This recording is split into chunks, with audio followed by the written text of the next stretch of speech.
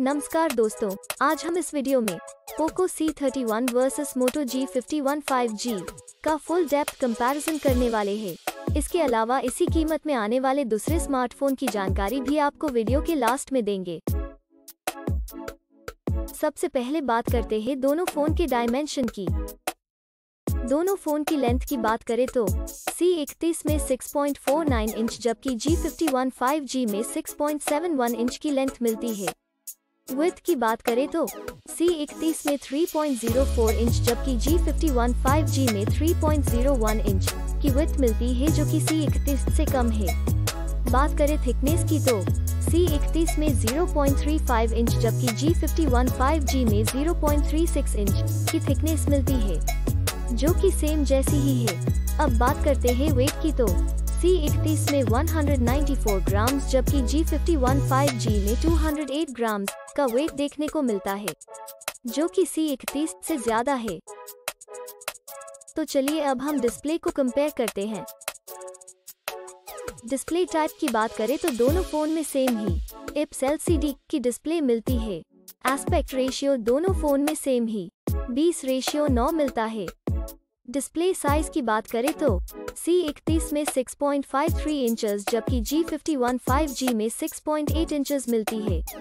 Display resolution C31 में 720 by 1600 और G51 5G में 1080 बाई 2400 मिलता है। Screen to body ratio C31 में 80.97 प्रतिशत जबकि G51 5G में पिचासी दशमलव छह चार प्रतिशत मिलता है। बात करें पीपीआई डेंसिटी की तो C31 में दो सौ उनहत्तर पिक्सल प्रति इंच जबकि G51 5G में तीन सौ सतासी पिक्सल प्रति इंच मिलती है। अब देखते हैं डिस्प्ले के अन्य फीचर्स यानी विशेषताएँ की, जो कि मोबाइल फ़ोन का महत्वपूर्ण हिस्सा है। अब बात करते हैं सबके पसंदीदा फीचर्स कैमरा की। दोस्तों, सबसे पहले बात करें मैन कैमरा की तो C31 में तीन कैमरा देखने को मिलता है। जिसमें कि प्राइमरी कैमरा मैक्रो कैमरा और आखिर में डेप्थ कैमरा देखने को मिलता है। और G51 5G की बात करें तो इसमें भी हमें तीन कैमरा देखने को मिलता है, जिसमें कि primary camera ultra wide angle camera और आखिर में मैक्रो कैमरा देखने को मिलता है। बात करें वीडियो कैमरा की तो C31 में सात डिफरेंट टाइप के फीचर्स मिल जाते हैं। और G51 5G की बात करें तो उसमें आठ डिफरेंट टाइप के फीचर्स मिल जाते हैं। अब बात करें फ्रंट कैमरा यानी कि सेल्फी कैमरा की तो। C31 में सिंगल कैमरा देखने को मिलता है जिसमें कि पाँच डिफरेंट फीचर्स मिलते हैं और G51 5G में भी सिंगल कैमरा देखने को मिलता है जिसमें तीन डिफरेंट फीचर्स मिलते हैं।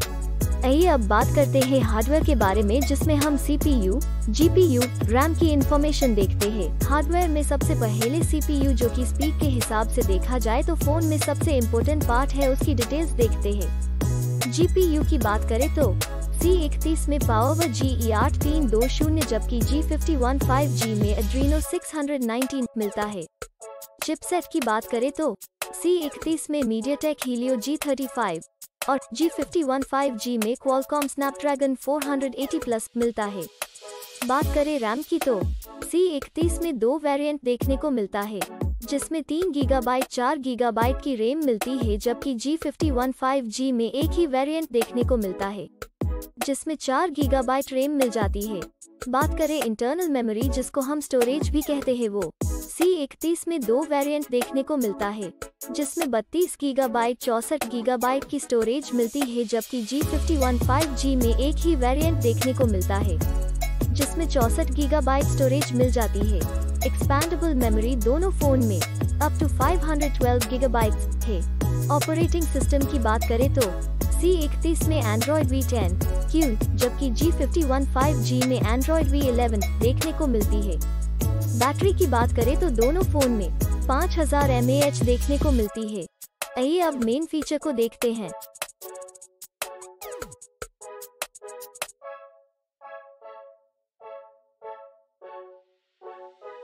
कलर्स की बात करें तो दोनों फ़ोन में सेम ही। दो कलर्स ऑप्शन देखने को मिलते हैं।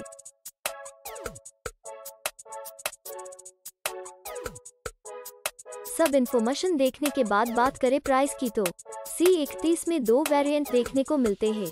जिसमें कि गीगाबाइट रैम, बत्तीस गीगाबाइट स्टोरेज के साथ आठ हज़ार चार सौ निन्यानवे रूपीज चार गीगाबाइट रैम, चौसठ गीगाबाइट स्टोरेज के साथ आठ हज़ार नौ सौ निन्यानवे रूपीज में मिलता है। और बात करें G fifty one five G की तो उसमें एक ही वेरिएंट मिलता है जो कि चार गीगाबाइट रैम, चौसठ गीगाबाइट स्टोरेज के साथ चौदह हज़ार नौ सौ निन्यानवे रूपीज में मिलता है। दोस्तों, अब बात करते हैं प्रॉन्स एंड कॉन्स, यानी कि फ़ायदे और नुकसान की तो। पोको C31 में चार फ़ायदे और पाँच नुकसान देखने को मिलता है।